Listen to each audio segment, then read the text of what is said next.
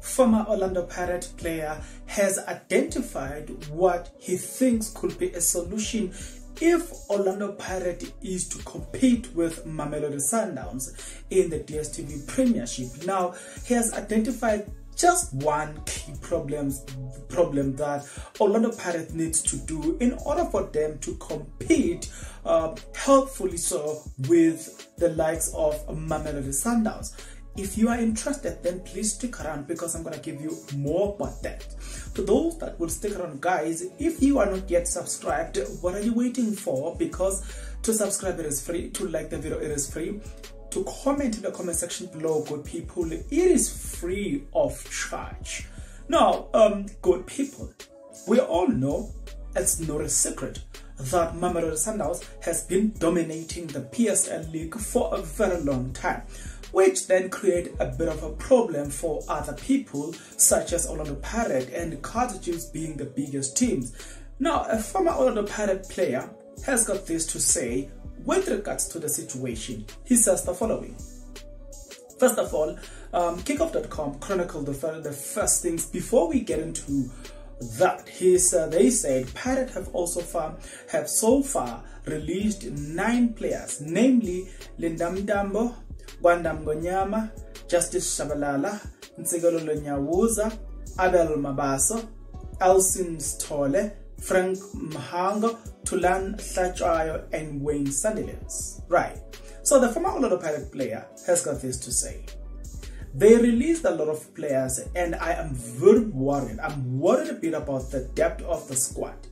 If you look at what Sundowns have, it may be two starting teams and you will need to have something like that if you want to challenge them.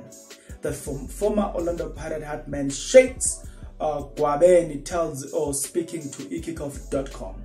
He then goes on to say, Look, I think I think they, Orlando Pirate, have very good players in the team. Tamingo Silonch, Happy Jele, Vincent Pule. Those are players who who changed the game and help the team. They also made some good signings. I really like Miguel Timm. I think I thought he was a good signing, uh, says uh, um, then Gwabeni continues to say the following. I will say Orlando Pirates still needs to sign few more players to give Sundowns serious challenge. Right now, I look at Orlando Pirates and I and I or and if I a few players get injured, then the season is gone. But the window is still open and the coach is still new. I'm sure some recruit will be bought will be brought in uh Gusho Ukwaben.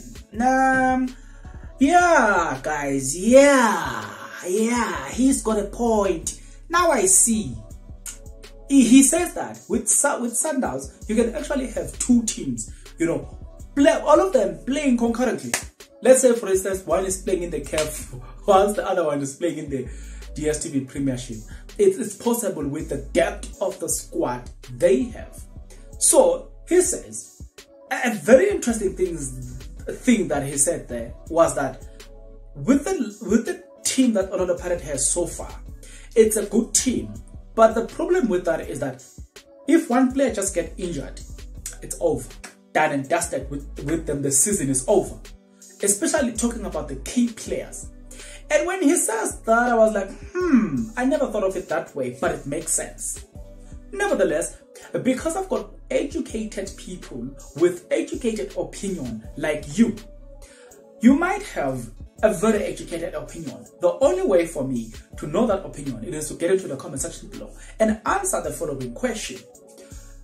Do you agree, one, with what he said, to say the players that are there are very good, but if one of them get injured, the season is over, so you need to add players. Two, he says the coach is still new.